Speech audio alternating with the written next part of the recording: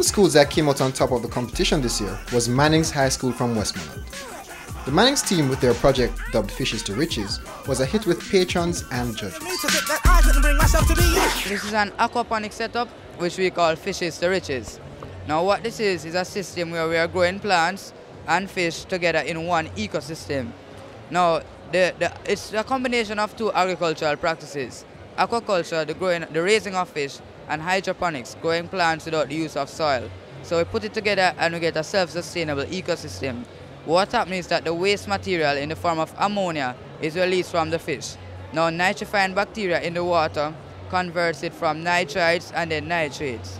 Then this um, nutrient-filled water is pumped upwards by the submersible pump, filling all the grow beds with this nutrient-filled water.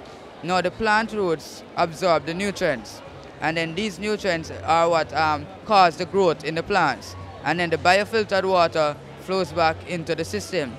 Now what we feed the fish on is something called duckweed. Small green plants that is um, found on ponds and it grows in the water has a very high protein value. So it replenishes its own stock, so it's very self-sustainable.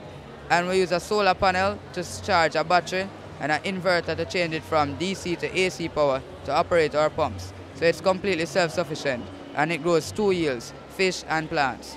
The Mannings team says its project is timely, as more concerns are raised about food security. We are growing, um, raising fish and growing plants together in one system, right? So what happens? The fish waste, that is what is used to grow the plants. What we have here is a submersible pump. This is what is used to pump the water all the way up to the top.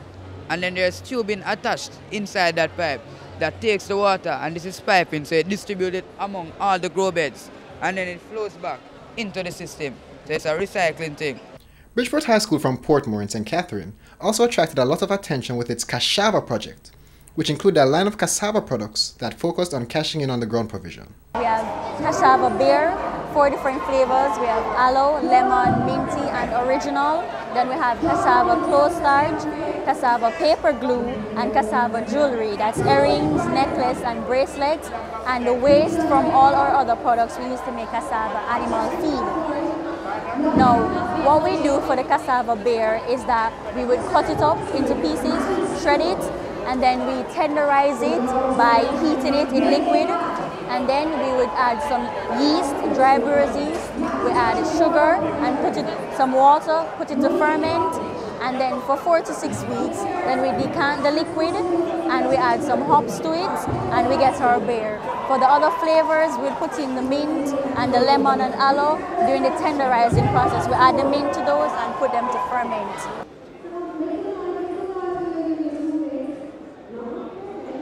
There's a cassava aloe you know. Princess me this a while ago, tell you, man, are rich. Now for a clothes starch, what we do is that we grate the cassava, we add water, we squeeze out the starch from it. The liquid portion, we allow it to settle out. We pour off the clear version, that's the top part. Then we add a little bit of hot water to it, a little cold water, some alum salt for its adhesive properties to give it stickiness and then we add sodium benzoate for preservative.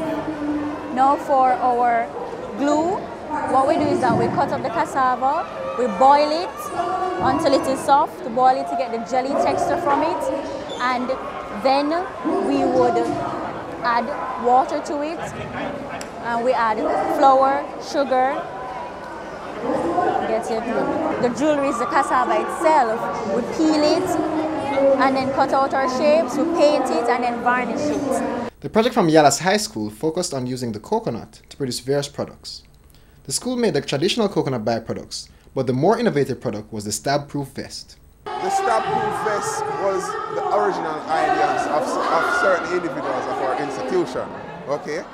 Um, the part of the coconut we used was the coconut ox, which has some quite what I would say interesting properties because the fact of it is that the older it gets is the harder it gets and the lighter it gets. So the fact is the, the longer you'll have one of our coconut ox vests, stab proof vests, is the stronger that vest will be and the lighter it will be. Individuals also made reference to the numerous trappings within our high schools and they saying, I think the government should put in place stab proof vests for high schools. Well, who to tell? Because, well, any individual who is at risk of being stabbed would use a stab proof vest, just as the one who is being shot would use a bulletproof